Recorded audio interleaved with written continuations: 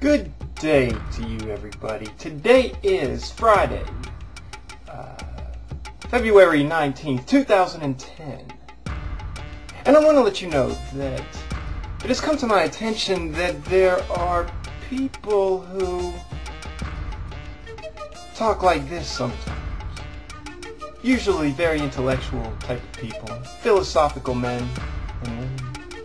And they seem to maybe when they first start their sentences, kind of, uh, they, they started at a rapid pace. And gradually as they get to the end of their sentence, well that's when they slow it down. So I just thought that maybe I would have a try to have a conversation with you guys about this matter when I started the video blog for February 19, 2010.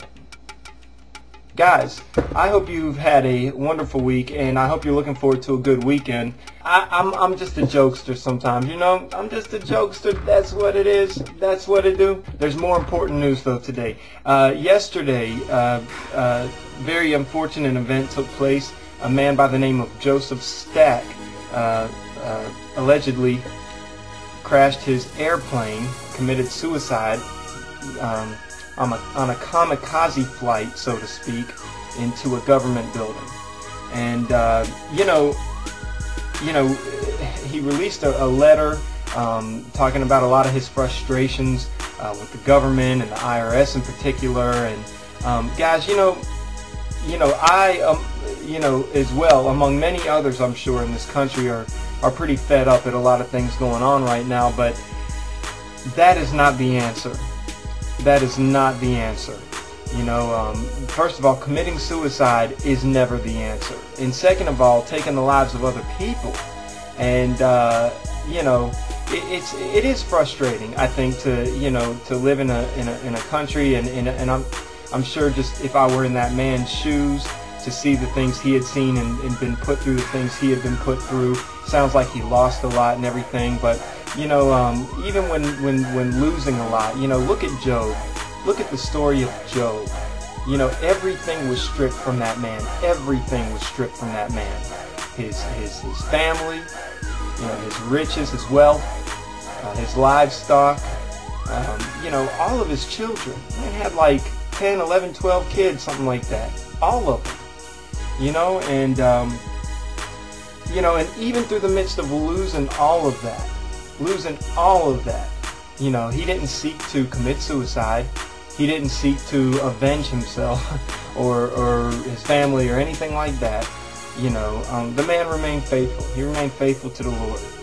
And, uh, you know, I guess if you don't know the Lord, when you lose that much, it can put you in a pretty dangerous place. So I encourage you, if you don't know the Lord, I encourage you to get to know Him. Get to know Him. Because He loves you, and there's a peace and a joy that you can experience even in the midst of so much loss, to where it won't bring you to ruin like that. It won't bring you to commit suicide or take the lives of others.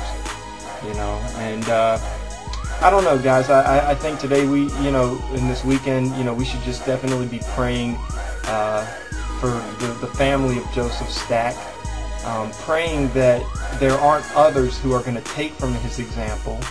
Um, you know, I, would hate to see a long string of these events occur, you know, now. Um, uh, in in light of the situation, and and you know, we should be praying for the families of the you know those who who uh, might have had people in the government building, you know, that died and whatnot. So, anyway. Um, I, I definitely hope to see you guys Monday. Thank you for watching, all of you on YouTube, MySpace, and Facebook.